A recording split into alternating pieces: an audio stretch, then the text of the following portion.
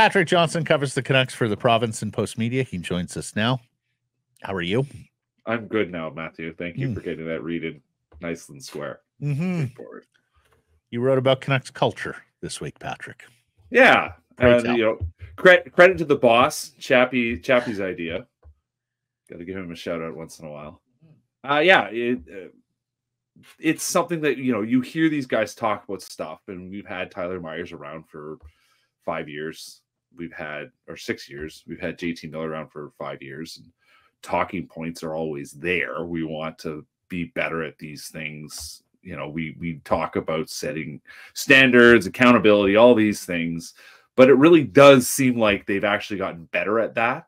And so I dove into that yesterday, and uh, Tyler, you know, one of these examples of how this works. You do this job for a while, you get to know these guys a little bit. They have some time for you. They're actually willing to engage with the questions, and yeah, the accountability is there. You know, JT Miller talking about that as a group they've matured. It was something that stood out. You know, he noted we were a young team. We're not a young team anymore. I think he was suggesting sort of about how people operate at the rink and away from the rink. And um, yeah, it's it's a group that is understanding the next level. I mean, the, from a coaching standpoint, and I think I talked about this before. You know, there's that idea of sort of physical capacity, what you're actually able to do, but mentally, that's part of that's a that's a thing that a player, young players need to learn, right? Like, what does criticism actually mean? How does it actually play out? And and this team clearly has taken that on board. They've learned their lessons. They haven't, you know, I think it's true of many young players, no matter the generation, perhaps more now. You know, you need to learn and understand what criticism sounds like and what its purpose is and what it means. And I think this team is bearing the results of understanding that better.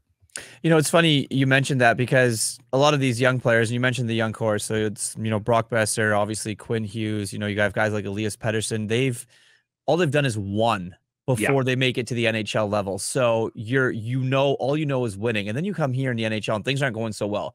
You get comfortable in your mind of what it's like to lose. How much do you think that the growth of that has come into play where you know they're not they're not in that position anymore where they're they're winning games and, and they're playing consistent and things like that and kind of getting out from the norm of what was losing for so long for some of these guys Well, and I think a lot of it's you- uh, you're spot on. First of all, and I think a lot of it is understanding why. It's not just that this feels bad, but why does this feel bad, and why what's happening to this, and and, this is, I think, in particular with this coaching staff, is, is there's an understanding, certainly talking, but you know, I mean, when I talked to Sergei Gonchar last year, you know, I think about the, the point he made about being able, even though if he's not always with the team, you know, being able to give feedback, like here's a clip that I saw from the game last night, and here's a thing, you know, send it to players. Here's a thing to think about, and that's bringing the the sort of operation of that of coaching to the players in a way that they already operate, right? Like these guys are on their phones. Let's send them something that's on their phone that they can look at that way, right? Like, you know, it, it, it's it's it's bringing a you know technology, bringing the the conversation to them to on on their terms, and and that connection clearly has made a difference. And and I think you're absolutely right. Like part of it too was just do you want to do this or not? Think back to two years ago at the end of the season when Allvin kind of called out these guys and said, listen, you guys may be good, but you haven't done anything. Yeah. Let's go do something. Yeah. And and they and that's they're, they're certainly trending that direction. Now the next challenge is can they make that happen in the playoffs? Well, look, uh, if, if we're going to talk about Canucks culture and the team maturing, I think the guy we absolutely have to talk about is the head coach, Right. and and the way he communicates. And I, I'm not, I, I'm not sharing this to sewer Travis Green because Travis Green is on a second NHL job, and maybe we'll get the permanent job with the New Jersey Devils. And of course, some of the particulars have grown up here a little bit. But one of the things I heard is that Travis used to be really hard on Elias and Brock, and they were sort of a little more sensitive, that it landed hard when Yeah. Travis would criticize them, particularly in film sessions in front of the group. Um, as a caveat, uh, I was told, you know, like a lot of rookies, Travis went easy on Quinn Hughes at the start, and then you know a lot of the guys were like, "Just you wait, Quinn, it's coming for you too." And Quinn was of the mind, well, whatever he says couldn't possibly be as bad as what my dad has said to me over the years. He has had hard coaching. Quinn Hughes had had some hard coaching in his life before he arrived with the Vancouver Canucks. I'm not sure Brock Boeser or Elias Pettersson had. Um, but the way Tocchet has communicated to these guys, and perhaps more importantly, PJ, about these guys. Like yeah. he has picked his spots with Pettersson. When it got too much, he he fed the beast, right? Yep. Yeah, no, Elias has got to be better. Kind of reminded me of Alain Vigneault all those years ago. You could ask him 10 times about Ryan Kesler, and he was going to pick his spot when he criticized yeah, Kess yeah. personally because yeah. he knew how it would land with number 17. Uh, to me, Tocchet has been the central figure in the changing of the culture. Is is that fair? Absolutely and the, you know that how you talk to people is a skill in of itself and and some of it you can learn and some of it you just got and i think rick tocchet just has it uh, it, it, I mean, like you know, Travis Green's an interesting point. Yeah, you're right. Second job, we'll see how this goes. What did he learn from first job? But you know, Tocchet. This is, I mean, technically, it's the third time around as a head coach, right? First time round, probably totally in over his head. Um, goes to Pittsburgh, learns how to talk. I mean, it, play to your instincts, be who you are, and and you look at the people who I've spoken to away from the rink who played with him, just know him a little bit. I mean, Rick knows it feels like everybody who had ever been in the NHL, um, but a very personal guy, a guy who's willing to listen and talk to people and learn more about them.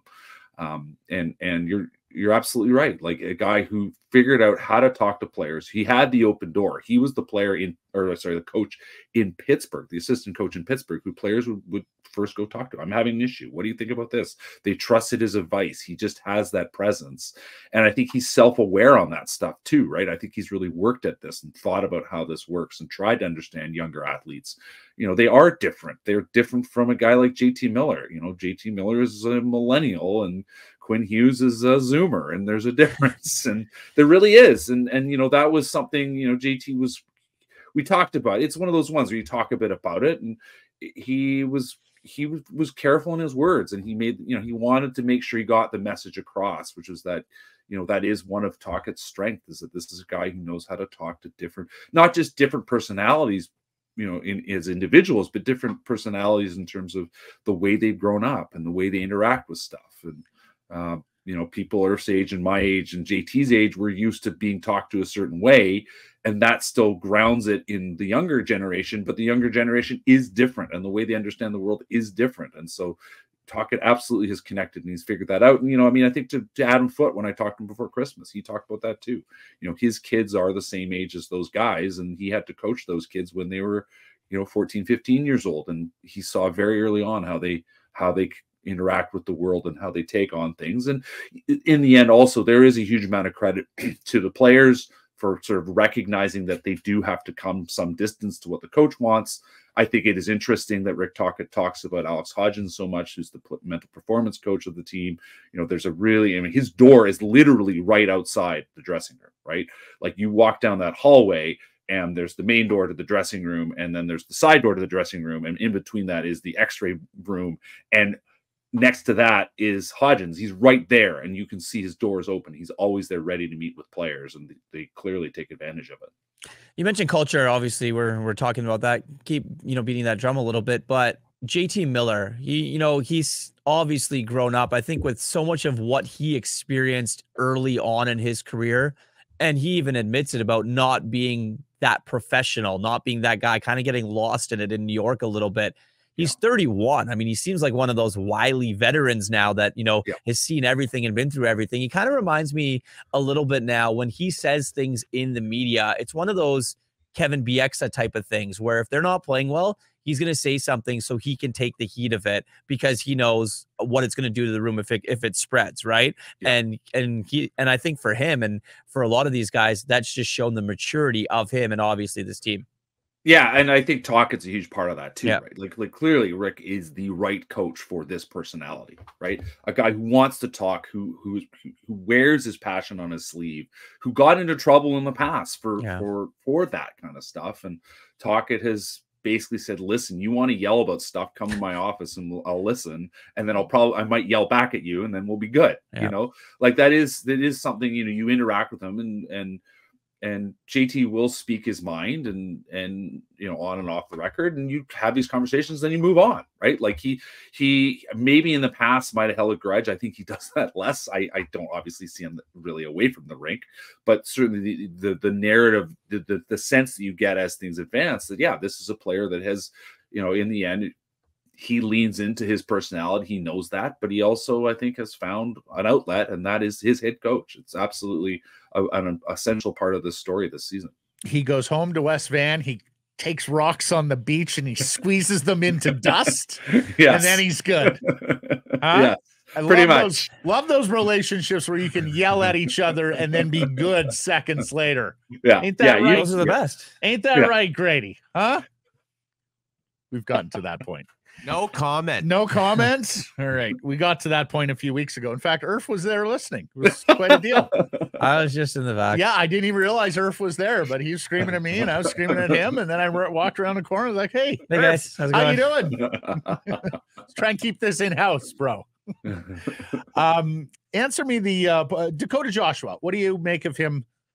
Uh, we ex- anticipate he's going to line up with Miller and Boeser. What do you think of that line? Because we haven't seen it. If at all. well, I can, I can tell you that the, uh, I mean Dakota Josh, I'm sure is excited to play with those two. The only the person who might be as happy as that is Farhan Lalji, who has been talking about this idea next to me in the press box for weeks. um, I, I think it's really interesting. You know, Joshua has come so far as a player, uh, and and has delivered on the promise that that Canucks management thought he would be able to deliver on. Um, when they signed him from St. Louis, they you know obviously was oh he can penalty kill and he's got some sides. We think it's interesting. You know he has he has worked out as well as any signing, any player acquisition they've had, and the, the idea that he could really become that big bruising winger that uh, you know you know that JT Miller would love to play with and Brock Boeser would love to play with. You know, for, for as a forechecker, we know what, how important he was on that Blueger Garland line uh, before he got hurt. And yeah, I think it makes a lot of sense. I'm really interested to see how it works. I think this this line plays heavy, tough minutes. Um, Joshua has been an outstanding two way player, and I think he will add everything to that line. Keeps his stick on the ice. You know, he knows he's ready to shoot the puck when the puck comes to him, but he also knows that's not what he's there for. And uh, I, I think he really is going to add an interesting element to this line if it works out. Mm. We uh we're into the final stretch before the Stanley Cup playoffs, and as you know, once we get to the Stanley Cup playoffs, everything is under a microscope, and so we'll be talking about you know the way that puck bounced in the middle of the second period, leading to the Joshua goal or whatever, and not as much about the off-season business. So we're asking that here today, especially with Joshua returning the lineup. If the Canucks have to pay market price for one of their free agents, Patrick UFAs which one are you which one are you paying market price to? Blueger, Hronek, Joshua, Zadorov. Feel free to go off the board if you'd Oof. like. Um, I think it's probably Joshua. I think just just just because of the growth and the player that he is. I get Hronek, like that's a tough one, but that's also a lot to pay for a guy that. I mean, I, I still think you can find a defenseman that could play with uh, Quinn Hughes, um, but Hronek's that that is the other one that I would consider. Um, I think Zadorov will excite somebody more than the Canucks could afford. And uh, you know, Blueger, I think has been great. I've been really, really great. But that is the kind of center that you need to be smart about because you know that he is a depth guy, and you don't want to get too enamored of your depth guys, even if they are useful. You can always find a new depth guy. So I, I'm going to go with Joshua just because of Okay. everything we've seen. Can, I uh, can I challenge you on follow up on where Always. you, where where will you where you would find the guy to play with Hughes? I don't know. I, Right uh, shot this is why six. I'm not in management, but uh, yeah, I get that. I just, I just think I, I'm looking at the cost of the player, and obviously mm-hmm. Joshua is not going to be as expensive as Hronek, and I think the cost is something Fair. that's really important in this. Let, let me uh, put this to the group because I I see I I have seen others in the market are are asking this as though they are akin, but because I don't see it, but I'm open I'm open to the case. Does anybody think Chris Tanev is an equivalent to Filip Hronek if they can't get a deal done with Hronek, that you go pay Chris Tanev to come back and play with Quinn? I don't think Turf? so. I, I just I, I don't see the I don't see them wanting to pay fifteen million dollars over three or maybe maybe more than that for a guy like Chris Tanev. I mean, you look at Hronek's numbers in the first half of the season. I mean, he was putting up ludicrous points. Chris Tanev just doesn't do that. I mean, I know he's he's a stay at home defenseman and, and he's a guy that makes you know things pretty pretty pretty easy for for a guy like Quinn Hughes, but um, I, I do believe it's Hronek for the market value. I, I think that you know they're going to have to buck up. I just don't think that you can pay Joshua three million bucks or Teddy Blueger two and a half or Mm-hmm. whatever it is. There's those are the guys. To your point, PJ, about going to find a guy to play with Hughes. There's tons of those third and Yeah, fourth line guys yes, that you can find around the National Hockey League. I, I, I think yeah. Uh, I- Peach on ta- on Tanev as a fallback plan B on Hronek if you yeah, and I mean, that it just you know, like I take Irf's point is exactly that. I mean, in the end, what is Joshua? Is Joshua going to be a first liner or is he going to be a third liner? And if he's going to be a third liner, you're absolutely right. I think the equation changes. for sure. I, I I know. I, I think Tanev would be a great story, but he, you know, he's coming. He, you're playing him as a, you know, a five, four, five, six guy at this point. Um, I think he would look good alongside Hughes, but he is not the producer. He is not the the player. The key to that pairing has been their ability to move the puck up the ice. Mhm. And and Tanev's good at that, but he's also a defensive defenseman. That is what he is at this point in his career. And that that pairing has not been conventional, right? Like it's been about puck possession and let's play with the puck. And that's the best way to defend is not to let you have it. Um, and Tanev obviously can play that role, but I think his primary purpose has been forever just to stop you. Yeah. And and he'll be 35 before Yeah. the midpoint that's of it, next you know. season as I, well, I so. you know, it, it, are you? I think he would make sense. Is he going to be, you know, are you keeping Ian Cole or are you going to go for Chris Tanev? You know what I mean? Like that to me is the question there. So if Mhm. you're if you're not keeping Cole and you need to replace that role, then Tanev's perfect for that. Yep, great stuff, buddy. Thank you uh, for the conversation. We'll catch up next week. Great to see you guys.